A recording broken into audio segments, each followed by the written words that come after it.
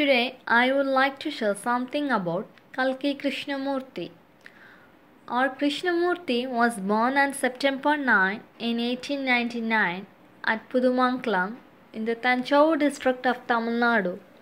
His father's name is Ramaswamy Aiyer and his mother's name is Thayahal Naihi. The name Kalki was his pen name. In 1917, he started his school career in Ayaswamy Iyer Primary School. He continued his studies in a secondary school in Tiruchi. In 1921, he joined Mahatma Gandhi's non-cooperation movement, suffering his school career.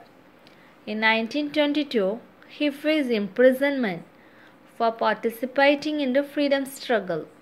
He spent one year in jail. He got the friendship of Sadasivam and C. Rajagopalachari. In 1923, he joined as a sub-editor in Tiru Bika's Navasakti, a Tamil magazine. In 1924, he got married to Rugmani. He later settled in Chennai. In 1928, he resigned from the post of sub-editor in Navashakti.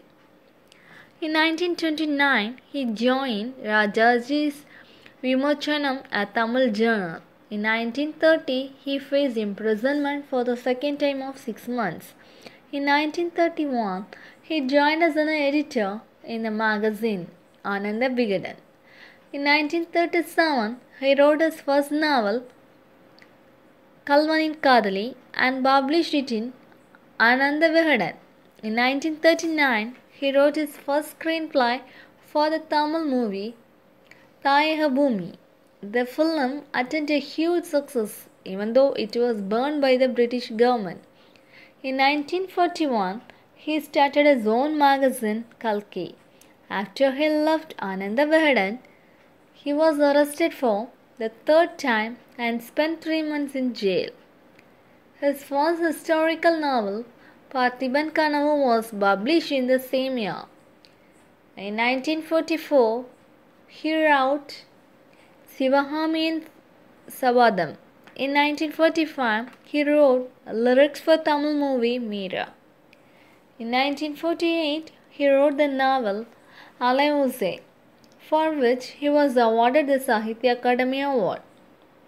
In 1950, he started to write a historical novel Ponniyin Selvan and published it in his own magazine Kalki. He finished the novel nearly after a period of three years and six months. He visited Sri Lanka three times to learn some information to write this novel. In 1954, R. Krishnamurthy died, a great soul of this world.